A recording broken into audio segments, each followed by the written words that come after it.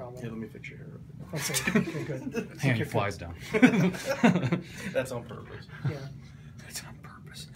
Okay, so we're talking about the channeled uh, King Vision blade here, and what I'm going to do is, if you're going to be using these hypercurve video laryngoscopes, I've had failures to intubate simply because I can't get these things in the mouth. You're going to notice the channel is rather obnoxious. If you've got a patient with a very small mouth, you may need to recognize that using the channel blade is not going to be the best first approach.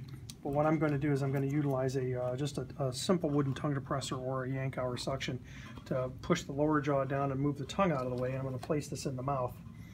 If I'm having a supreme amount of problems getting this in, these things can actually be placed either sideways or literally upside down and turned in the pharynx. Oh, this wow. was this was originally described with the Airtraq, and they call it a flip maneuver.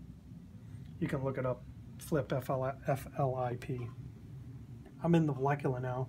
I'm going to expose the larynx, and I'm going to go ahead and advance the tracheal tube, and it's going into the esophagus, and now I'm going to back it up.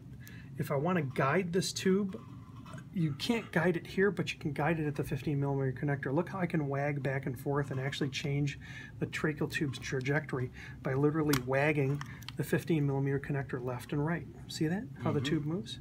Okay, so that's fine. Now you could also use an air, either a suction catheter or a bougie.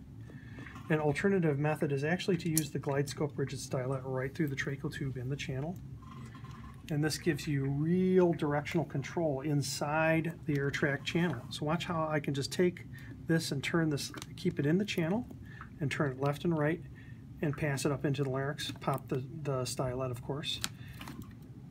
See how I can re-grip this and take this out myself? Okay? The samurai technique? Right, taking this the sword out of the, out of the sheath. Now we're going to try the uh, non-channel blade.